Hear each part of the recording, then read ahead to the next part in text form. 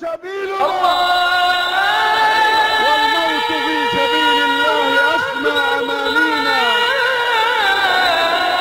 وفوق كل ذلك الله غايتنا. أشهد أن لا إله إلا الله!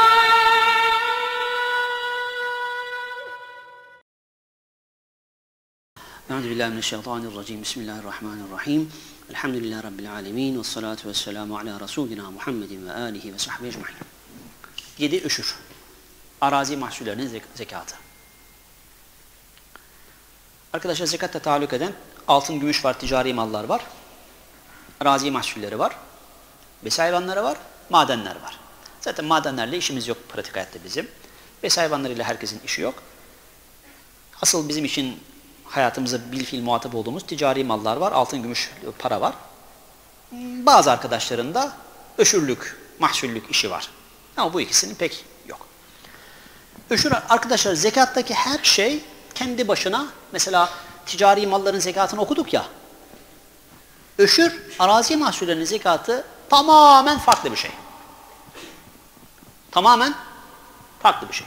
Öşür zaten kelime olarak onda bir demek. Kelime olarak manası onda bir demek. Arazi mahsullerinin zekatında alt sınır yoktur. Dakika bir, gol bir. 96 gram altın olacaktı değil mi öbür tarafta? Burada öyle bir şey yok. Bir avuç çıksa vereceksin kardeşim üşürünü. Arazi mahsullerinin zekatında alt sınır yok. Alacaklar eklenecek, borçlar çıkartılacak gibi bir şey yok. Öteki gibi değil. Sene geçme şartı yok. Bir senede tarlandan dört kere mahsul oluyorsun, dört kere vereceksin. Hani gelecek, bekleyerse falan öyle bir şey yok. Arazi mahsullerinde alt sınır yok. Ekle çıkart, borç ekle, alacak ekle böyle yok. Bir sene falan bir şey yok. İtibar araziye. Zekatta, mal zekatında itibar şahsa. Burası, burası bir kilit noktadır. Mal zekatında, ticari mal zekatında itibar kime? İtibar kişiye. Ben zekatlık insansam, zekatlık kişiysem o malın zekatını vereceğim. Dolayısıyla deli zekatlık kişi değil, trilyonlar olsa deli zekat vermekle mükellef değil, vermeyecek. Çocuk zekatla mükellef kişi değil, trilyonlar olsa zekat ne yapmayacak? Vermeyecek. Ama öşürde itibar araziye, kişiye değil. Dolayısıyla mesela bak ne dedik? Tüzel kişilik dedik değil mi? Kurum. Kurumun malı olsa kurum zekat ne yapmayacak? Vermeyecek. Ama öşürde itibar araziye. Kurumun arazisi olsa mahsul çıksa zekat verecek. Çünkü itibar araziye. Çocuğun arazisi olsa mahsul çıksa zekat verecek. Çünkü itibar araziye. Delinin arazisi olsa mahsul çıksa zekat verecek. Çünkü itibar araziye. Dolayısıyla kurumun parası olsa zekat vermez. Ama kurumun arazisi olsa mahsul eline geçse zekat verecek. Çünkü itibar araziye. İtibar arazi olup mal sahibine değildir. Dolayısıyla çocukların ve delilerin sahip olduğu arazilerin mahsulünden de öşür gerekir. Aynı şekilde tüzel kişilerin sahip olduğu arazilerin mahsulünden de öşür gerekir. Öşürde sulamaya itibar edilir. Mesela zekatta 40'ta 1 diyoruz. Yüzde iki buçuk. Öşürde onda bir, yirmide bir. Öşürde onda bir, yirmide bir. Bu onda bir, yirmide birin kriteri ölçüsü ne? Sulama. O mahsulün yetişmesi, normalde kitaplarda sene diyor ama o sene doğru tabir değil. O mahsulün, bir sene sulanmıyor ki o mahsul. İki hafta sulanıyor, üç ay sulanıyor. Senenin çoğu deyince, değil mi? Üç ay zaten, üç ay, bir topu üç ay sulanıyor zaten. O sulaması, o mahsul ne kadar sulanıyorsa, ne kadar süreçte sulanıyorsa, ne kadar zaman sulanıyorsa, o sulamanın yarıdan çoğu, o sulamanın yarıdan çoğu doğal, emeksiz oluyorsa onda bir. Yarıdan çoğu parayla, emekle oluyorsa yirmide bir. Sulamanın çoğu dereyle oluyor. O zaman onda bir. Sulamanın çoğu yağmurla oluyor. Onda bir. Sulamanın çoğu kovayla oluyor. Sulamanın çoğu motorla oluyor. Yirmide bir. Tamam? Kriter bu. Tohumdu, gübreydi, oydu, buydu hiçbir şey hesaba katmıyorsunuz. Sadece sulama. Sadece sulama. Sulamanın çoğu doğal, masrafsız, emeksiz onda bir. Sulamanın çoğu masraflı, emekli 20'de bir. Burası tamam mı? Tamam. Hani kilit bir nokta söylemiş olayım. Pe- pek pratikte vaki olmaz ama 20'de bir. Masraf var orada. İşte tohumdu, gübreydi, işçiydi. Onları düşmüyorsunuz. Sadece sulama. Fark etmez. Çoğunluğu. Yani sonuçta masraf yaptın. Hep motorla sulanıyor. Aa, yok orada, orada dere gibi bir şey var onunla sulanıyor. O bir kere yaptın onu. Onu 8 sene önce yaptın. Bugün oradan hiç sen uğraşmadan kendi kendine suluyor. Peki yarı yarıya yese ne olacak? Anladınız mı? Çoğunluğu masrafsızsa, emeksizse onda bir. Masraflıysa, emekliyse 20'de bir. Yarı yarıya ise. Hani pratikte kolay kolay vakı olmaz ama söylemiş olayım. Yarı yarıya ise. Normalde bir tanesi kaç? Onda bir. Diğeri kaç?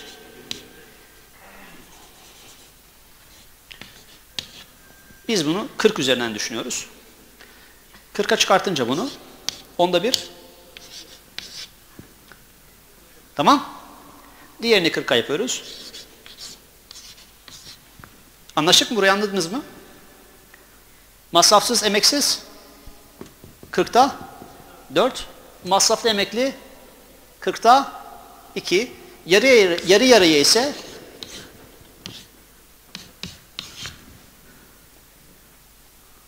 Kırkta üç. İkisinin ortası. Tam 15'te bir olmaz. Anladınız mı? Yani bu 4 bölü 40, 1 bölü 10'un karşılığı değil mi? 2 bölü 40'ta 1 bölü 20'nin karşılığı. Sulamanın çoğu masrafsızsa 4 bölü 40. Sulamanın çoğu masraflıysa 2 bölü 40. İk- İkisinin ortasıysa, ikisinin ortası ne?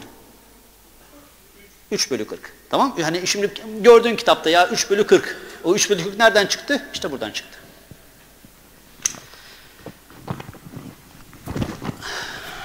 Öşürde sulama itibar edilir. Sulamanın çoğu yağmur, dere gibi masrafsız doğal yolla olduysa mahsulün 1 bölü 10'unun, onda birinin öşür olarak verilmesi farzdır.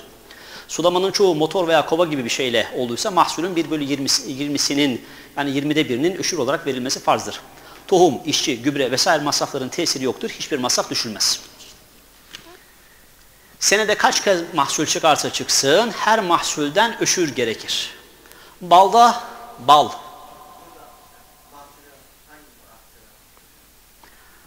Balda 1 bölü 10 onda bir öşür olarak gerekir. Öşür gerekir. Yani peteklerim var. Bal çıkıyor. O baldan ne var? Öşür var. Onda bir öşür var. Öşür aynı zekatın verilebileceği. Peki öşür kime vereceksin?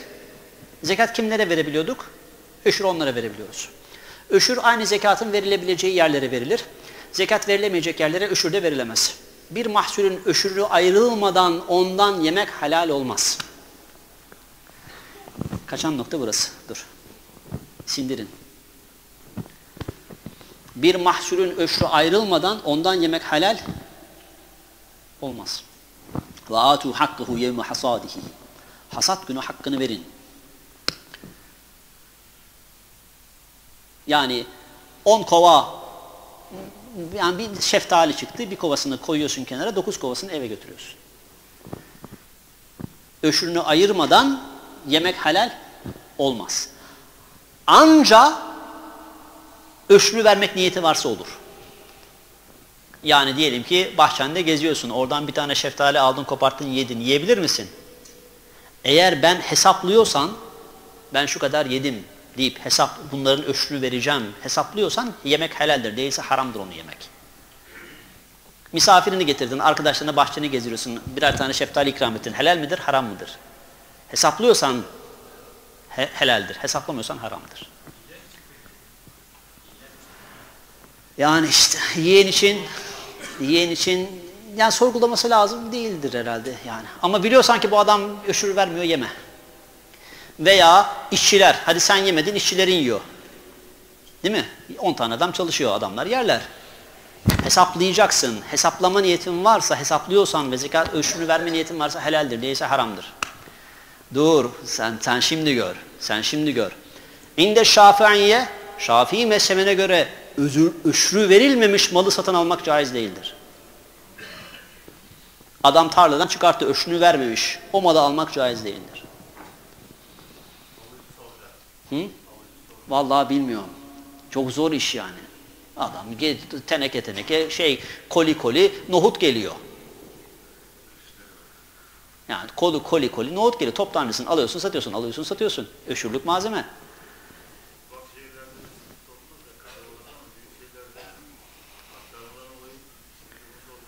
Şafii mezhebi dedik işte bizi o kurtarıyor bizi.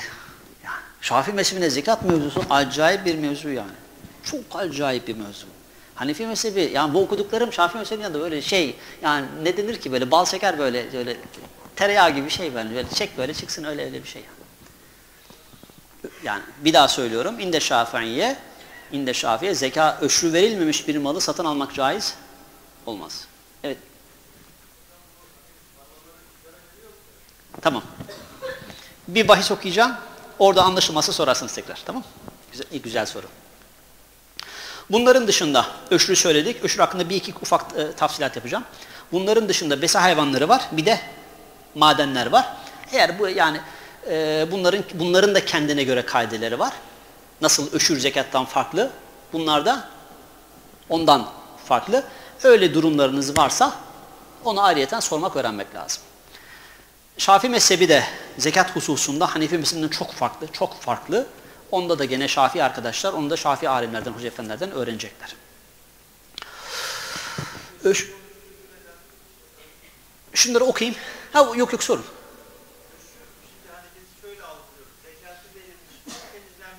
Tamam. Öşürünü verdik. Ama o kalan mal aynı zamanda benim ticari malımsa gene onun kendi zekatını ticaret olarak eklemek çift zekatlandırılmış olur. Orada benim de aklımda bir soru işareti olan şey var. Yani bir mala iki, iki tane ikisi de birden tahakkuk etmez. Orada böyle bende de bir pürüz, böyle bir muğlak böyle puslu bir alan var. Tamam. He, yok doğru yani o hem hem öşür hem zekat tahakkuk etmez. Ama orada bir işte dediğim gibi böyle bir pusu tam böyle kestiremediğim göremediğim bir alan var. Bu sorunuz orayla. Öşür verilmeyen maldan yemek caiz değildir. Siz yemezsiniz, işçilerin yemez, başkalarına ikram edemezsiniz. Niyetiniz varsa yapabilirsiniz sadece. Yani hesap yapacaksınız. İşte ben şu kadar yemişimdir. Ona göre kesin onun öşü verilecekse yersiniz, değilse yiyemezsiniz. Hatta Şafii mezhebinde öşü verilmemiş bir malı almak caiz değildir. Kişi günahkar olur. Her halükarda caiz değildir. Alışveriş batıl mıdır, geçerli midir? Orada bir teferruat var. Balda 1 bölü 10 öşür var. Balda da öşür var. Ağaçta, kamışta, otta, dut yaprağında, ipeklik dut yaprağında da öşür var. Öşür deyince sadece böyle hani meyve sebze anlamayın. Öşüt zekat gibi değil. Zekatta itibar kimeydi? Kişiyeydi. Kişi öldü mü zekattaki bir şey yok. Mesela diyelim ki benim bin lira zekat borcum var öldüm. Bitti. Ama öşürde itibar neye? Arazi sahibine. Ara, o arazinin bin lira zekat borcu, öşür borcu varsa anlayın sahibi ölse bile miraçları onu ne yapacaklar? Ödeyecekler. İtibar araziyedir, mal sahibine değildir. Sahibi vefat, sahibi vefat etse de ödemek gerekir. Şimdi Adem Hoca'nın sorduğu mevzu, mesela bahçen var, evin var, bahçen var. Öşür vermek gerekir mi? Veya burada evin var, bahçesi var, öşür vermek gerekir mi? Anladınız mı? Evin bahçesinden öşür vermek gerekmez. Bahçenin evinden öşür vermek gerekir. Bunu anlarsanız anlarsınız. Tabi. Evin bahçesinden öşür vermek gerekmez. Bir tane evim vardır. Öyle önünde küçük bir yer var. Eve ne bahçe yaptın. Çıkan mahsulden öşür vermen gerekmez. Ama bir tane bahçe var. Bahçe. Asıl olan ne? Bahçe. Bir de ev var içinde. Oradan öşür vermen gerekir. Fark anladınız mı? Evin bahçesinden gerekmez. Evin var, arkasında da küçük bir bahçe var. Orada bir ekiyorsun, biçiyorsun. Çıkan mahsulden üşür gerekmez. Miktarla alakalı değil. O bahçeden üşür gerekmez. Ama öbür taraftaki buradan bahsederken ev diye bahsediyorsun. Evin bahçesi. Öbür taraftan bahsederken bahçe diye bahsediyorsun. Bahçede bir ev var. Fark anladınız mı arkadaşlar? Evin bahçesinden gerekmez.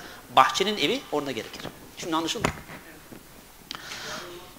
Bir daha. Fark etmez. Tabii ki. Tabii ki. Şimdi arkadaşlar, hani demin bu okunanı yanlış anlamakla alakalı bir şey söyledim ya. Akılda yanlış kalması vesaire. Şimdi araziler sınıf sınıf. Araziler sınıf sınıf. Her arazi üşür arazisi değil.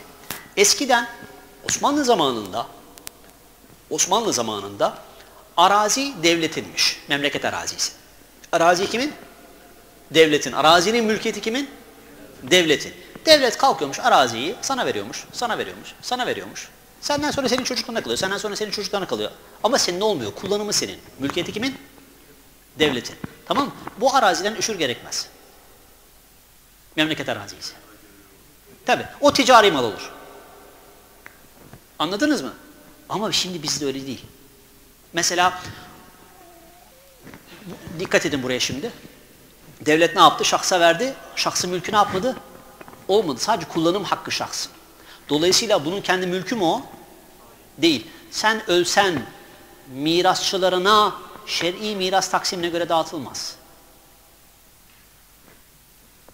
Yarı yarıya dağıtılır. Çok, e, oğlum var, kızım var. İkiye bir verilmez. Yarı yarıya verilir. Burayı anladınız mı? Niye? Çünkü senin malın değil o. Mülkün değil o.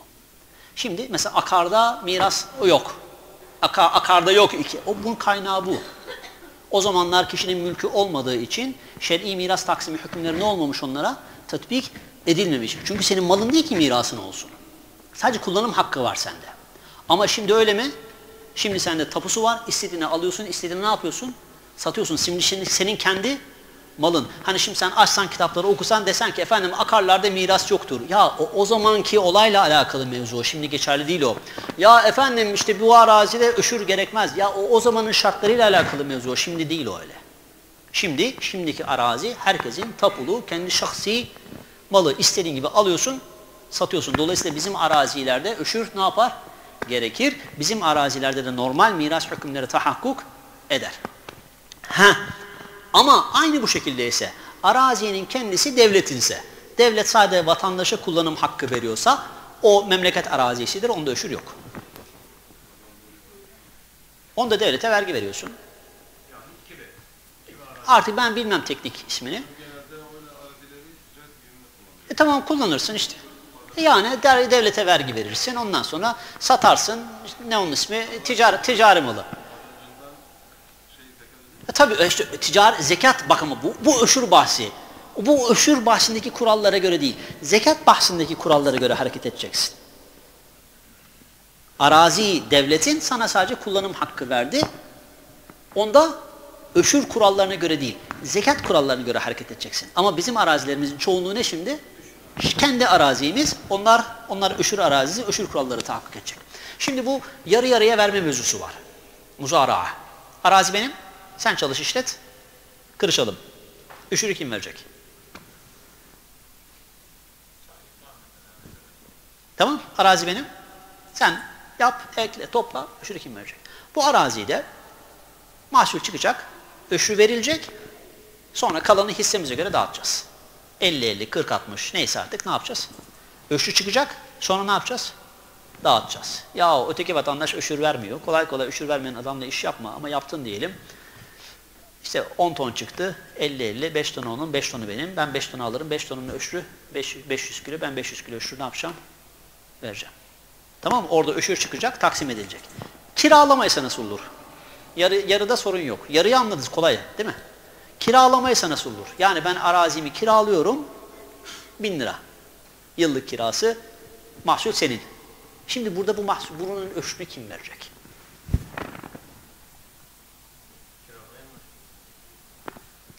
Bu yanlış cevap. Bu ne cevap? Bilmeden verilen bütün cevaplar yanlış cevaptır. Atsan tutsa bile. Bilmeden verilen bütün cevaplar yanlış cevaptır. Velev ki isabet etse tutsa bile.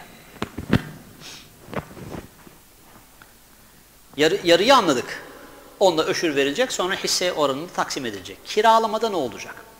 Bu arkadaşlar İmam-ı Azam Efendimiz'e göre arazi sahibi verecek. İmam-ı Azam Efendimiz'e göre arazi sahibi verecek. İmameyn'e göre kiralayan verecek. Allah onların bile çözemediği işi sen bak çözdün. Değil mi? İşte öyle işte. E peki biz ne yapacağız şimdi? Öyle mi böyle mi? Böyle bir durumda arkadaşlar baştan konuşulsun. Baştan böyle bir şey yapılacaksa baştan konuşulsun. Ben arazi sahibiyim, sen de işleyeceksin orayı. Ben diyorum ki sana mesela normalde 1000 liradır kirası. Ben diyorum ki öşünü sen ver, kira 800 olsun. Veya öşünü ben vereyim, kira 1000 lira olsun. Anladınız mı? Anlaşıyoruz aramızda baştan, en baştan. Tamam, o diyor ki tamam öşünü ben vereyim, kira 800 olsun diyor. Tamam ben 800 liramı alırım, o da öşre karışmam, öşre o verir. Ya da derim ki kira 1000 lira olsun, öşrü ben vereyim derim. O artık bizim anlaşmamıza kalmış bir şey. Bu sefer alırım, ben 1000 liramı alırım, öşrü veririm. O ne yapmaz? Öşre karışmaz, tamam mı? Bir saniye. Evet buyur.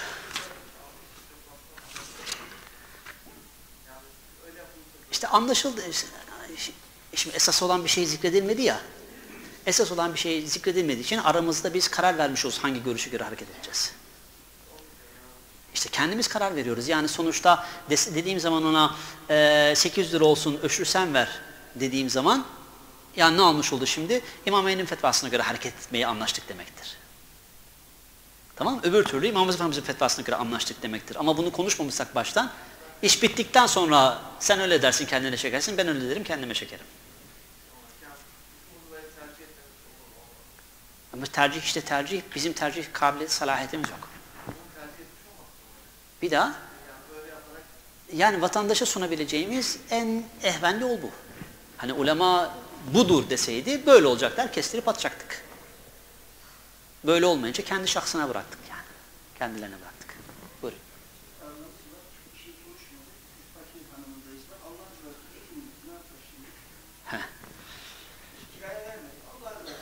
Ama siz, fark etmez. Sizin bedel almanız değil orada önemli olan. Ölçü neydi? İtibar nereydi? Araziyeydi. Arazi sizin. Bu hükümler sizin içine geçerli. Ha dersin ama öşürünü siz verin dersin. Onu söyle, söylersiniz. Öşünü siz verin dersiniz. Tamam Onu şart koşarsınız karşı tarafa. E işte orada iki, iki görüş var orada. İki görüş var. Benim o iki görüşü teke düşürme yetkim yok. Benim iki görüşü teke düşürme yetkim yok. Siz onu kesinlikle şart koşun. Şart koşun. Hani gerekirse on, e, arkadaş ne mahsul çıkarsa onda birini ben istiyorum deyin. Alın siz verin. Ona güvenmiyorsanız mesela. Tamam inşallah. Buyurun. Bir saniye.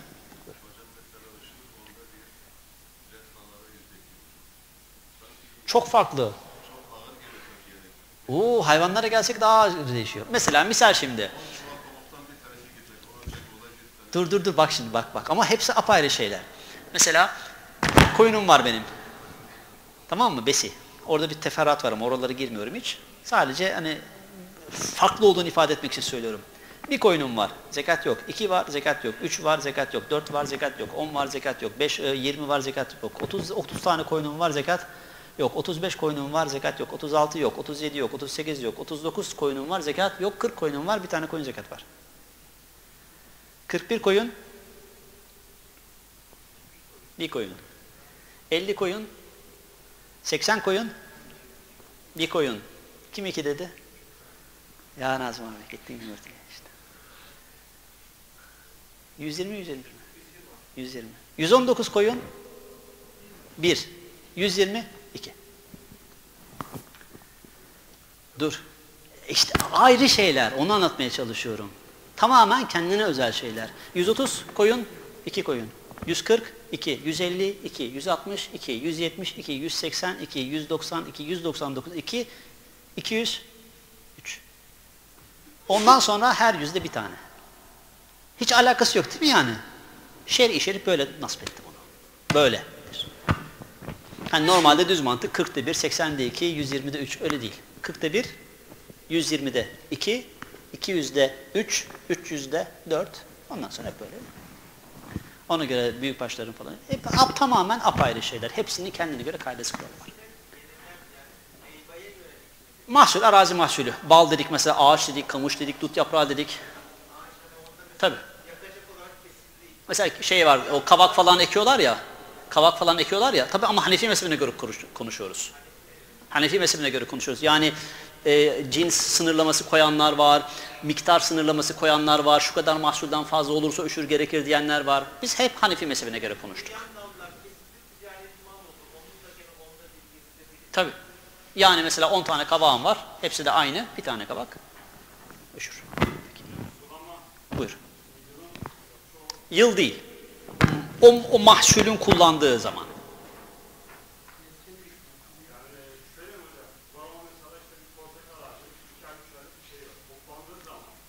Ne kadar sulanıyor o? Şimdi ne kadar su yani o o mahsul ne kadar suya ne kadar zaman suya ihtiyaç duyuyor? Hayır şimdi ben bir dikkat edin şimdi. Ben ağaçtan mahsulü aldım. Tamam. Bir dahaki mahsul alacağım zamana kadar ne kadar zaman suya ihtiyaç duyacak o? Bu mahsulle o mahsul arasındaki zamanda bu mahsulü aldım sıfır şimdi biz ba- başladık. Öteki mahsule kadar ne kadar sulama, su ihtiyacı olacak onun? 3 ay, 5 ay, 1 sene, 6 ay. İşte ne kadar ihtiyacı olacaksa onun yarısı. İşte bilmiyorum işte bak ihtiyacı var mı yok mu? Diyelim ki ihtiyacı var. Misal olarak söylüyorum ihtiyacı var. 6 ay sulanmaya ihtiyacı var. 2 ay yağmurla sulandı. 4 ayda sen suladın. O zaman 20'de bir. 6 ay sulanmaya ihtiyacı var. 2 ay sen suladın. 4 ay yağmurla sulandı. O zaman 10'da bir. Ne kadar sulanmaya ihtiyacı varsa onun yarısına göre hareket ediyorsunuz. Sulama. Sulama. Onu ben bilmem. Ben çiftçi değilim. Ben ondan anlamam. Ben kaidesini söylüyorum size. Siz kendi sanatınıza kendiniz tatbik edeceksiniz. Tamam? Buyurun. Mesela e, onda bir ölçü ayırdı. O mahsulün değeri 5 liraydı. Mantık yapıp o ayırdığın ortalamasıyla 5,5'tan 6'ya satsa onu oradan çıkartabilir mi? Yapsa İşte bak ne dedik? Onu kullanmayacak. Tamam 5 liraya 5,5'a sattıysa 5,5 lirasını versin. O zaman sattığının karşılığını versin. Bu arada hani bahsi gelmişken söyleyeyim. Zeytinde zeytinyağı yapılıyor. Onda zeytinyağını vermek olur. Yani ya zeytini çıkarttı verirsin ya da hepsini kalktın zeytinyağına gönderdin. 10 teneke zeytinyağı çıktı bir tenekesini verirsin. O da olur arkadaşlar. El Fatiha.